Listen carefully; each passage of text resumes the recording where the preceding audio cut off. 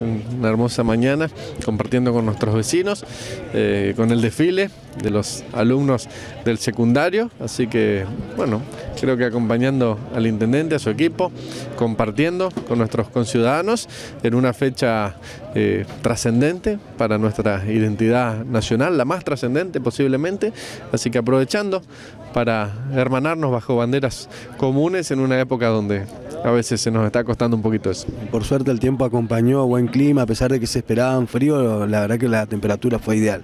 Sí, bueno, eh, arrancó el acto en un horario bastante tardío, a las 11 fue convocado, así que sí, por suerte, no tanto fresco. En particular, nosotros que no estamos acostumbrados, eh, por ahí el frío, en mi caso al menos me cuesta un poquito.